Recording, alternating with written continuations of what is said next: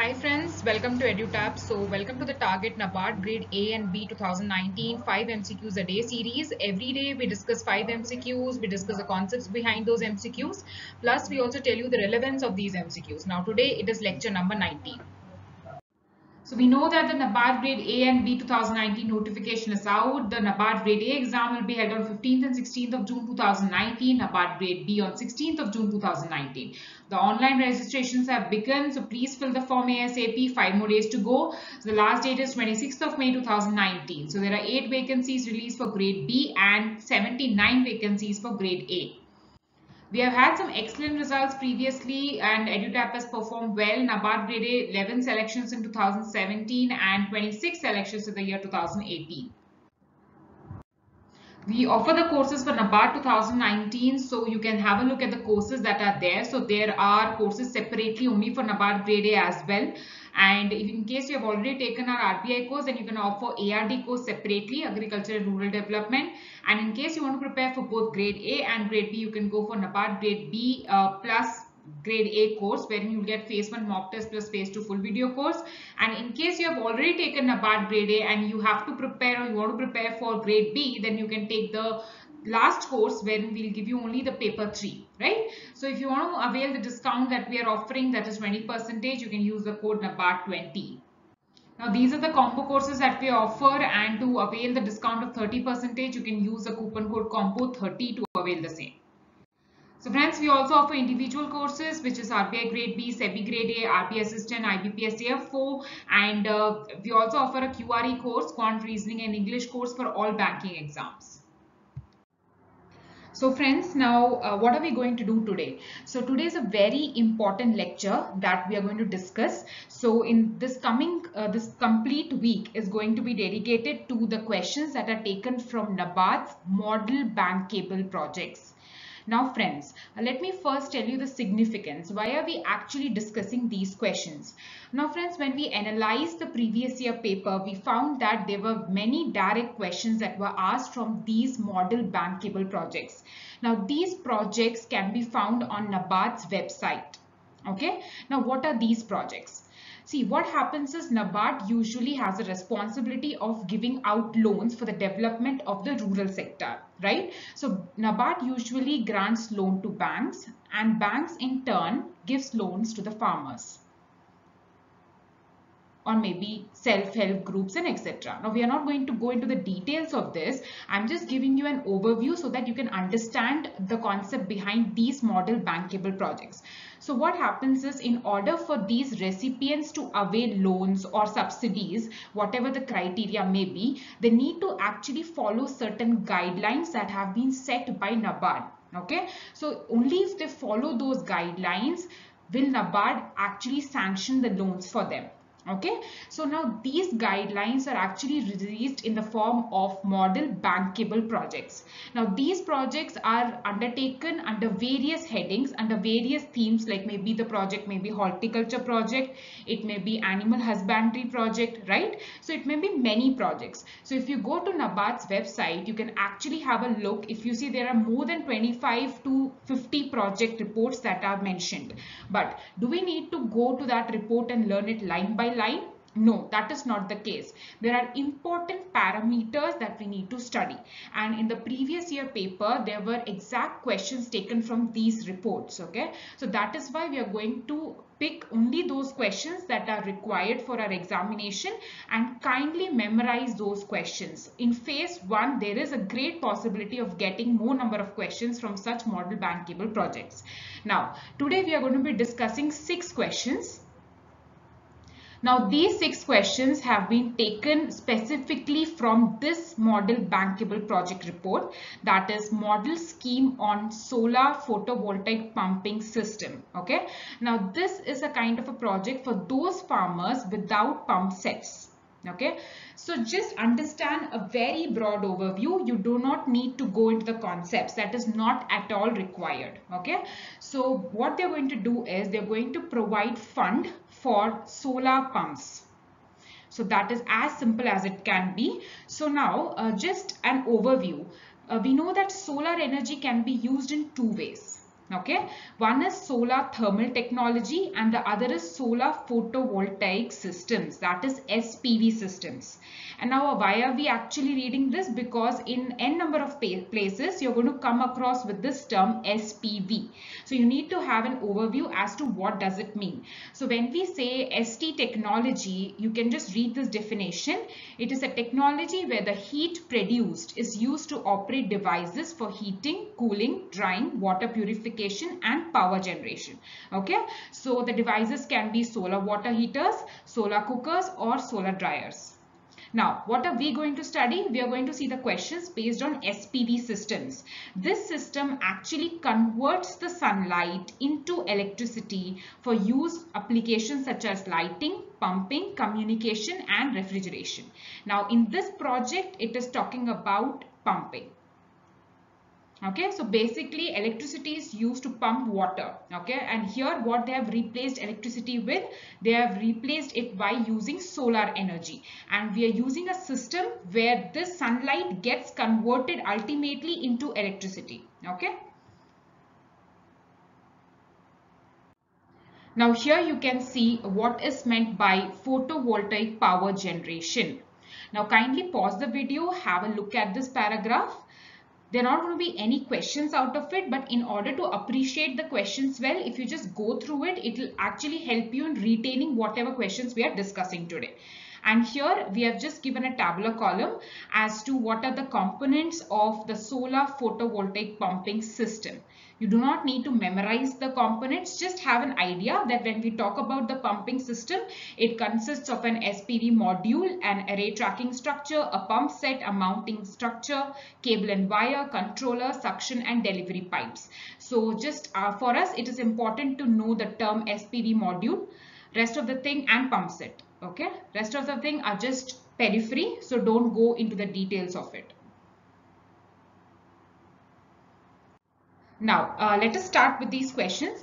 Now, friends, before we start the discussion, uh, one thing I would like to tell you is kindly make sure that even if you're not able to understand certain things, kindly memorize it. You know because such kind of questions can fetch you easy marks. So it is important for you to have at the back of your mind that though you're not able to understand certain technical things it is okay. Just go ahead and memorize the answers for it. Okay?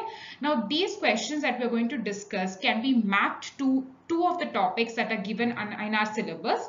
That is water resources farm and agri engineering okay? Why water resources? Because these pump sets are basically used for irrigation and that's why uh, under there's a topic irrigation under water resources. So we can map it to that particular topic.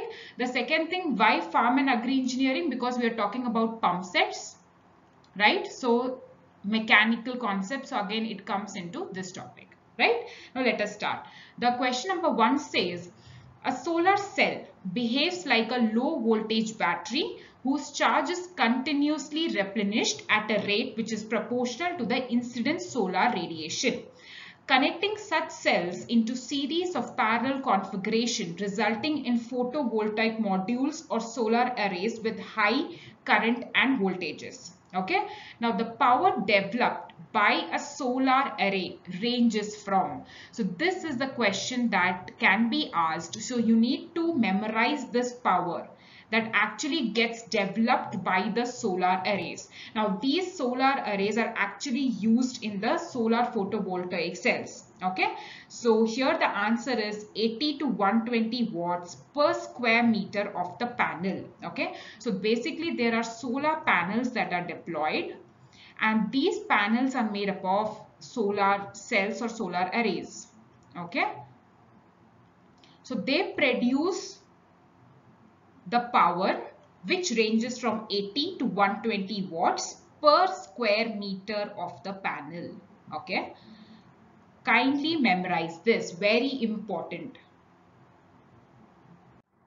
Now here the same thing is given in word format. So just pause the video, have a look at this explanation and try to understand. If you're not able to understand, kindly just memorize this power which is produced by the solar array.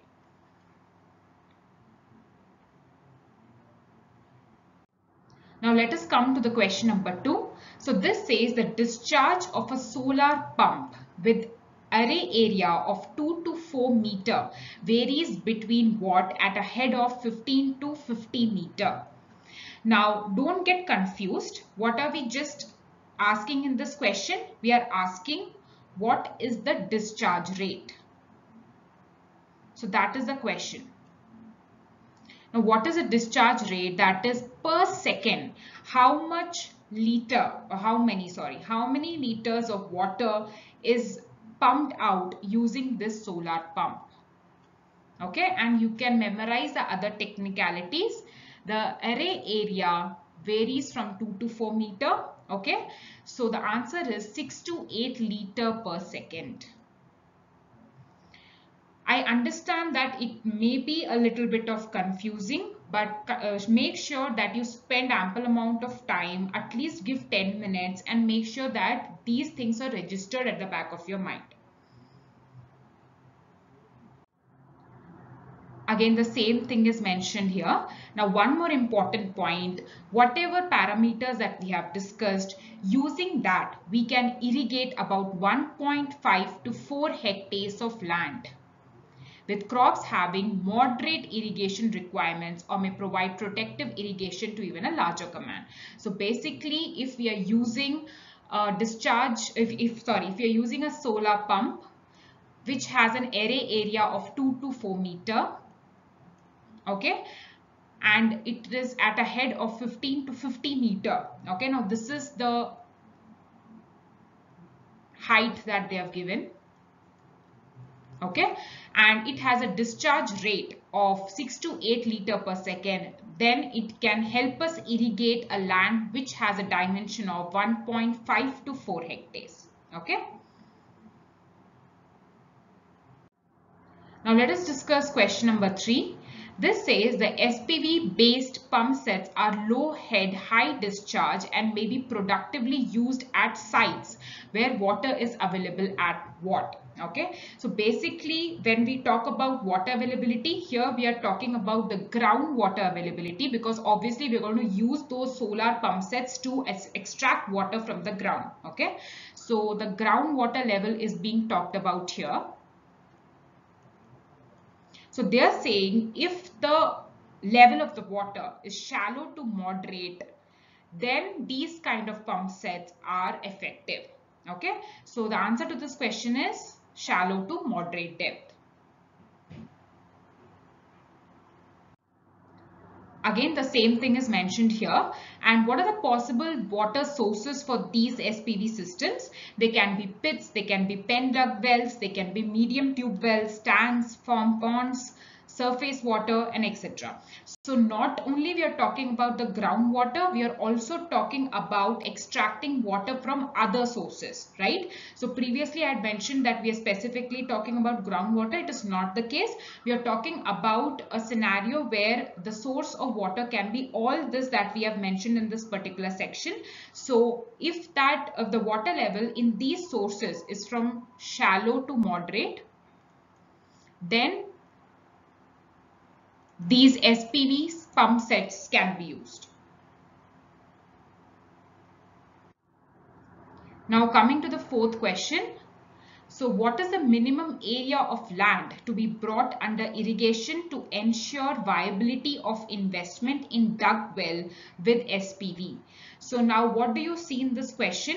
Basically, we are asking how much land needs to be irrigated so that the investment becomes effective. Okay. So here we are talking about dug well.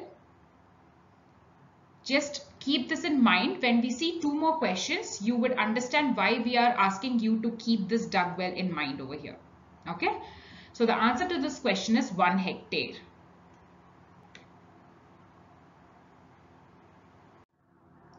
Now, see, this is a very, very important part that you need to memorize.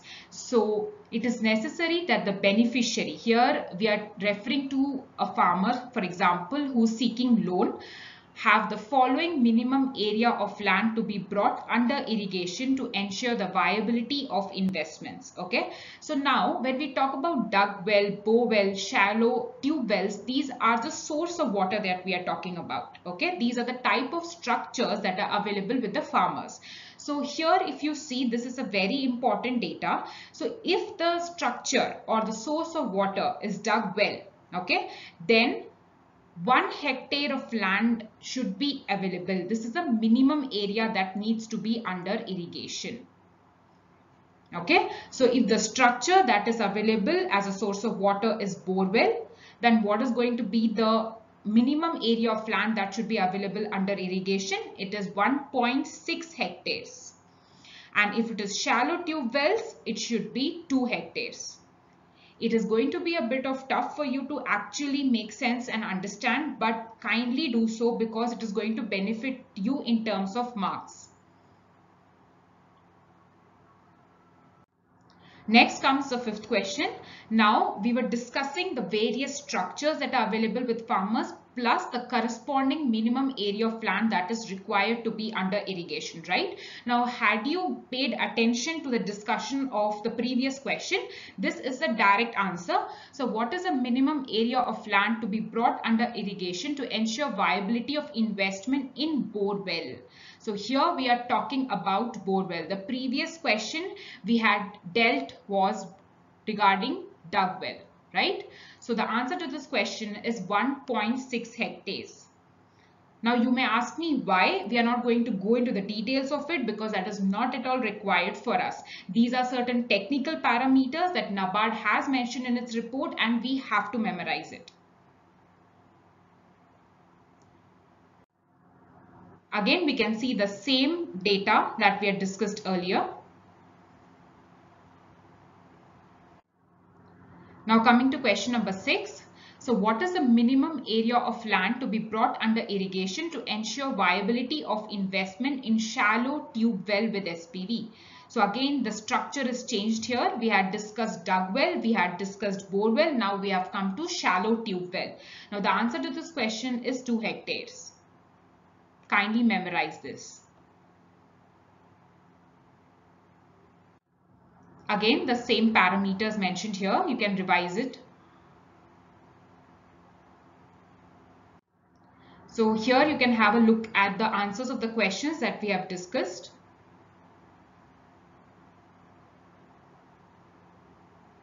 So friends, if you have any queries, you can drop us a mail at hello at the rate edutap.co.in. You can give us a call on 814-620-7241. You can go to our website if you want to have a look at the course features www.edutap.co.in. So till then friends, thank you so much for watching and as usual, happy learning.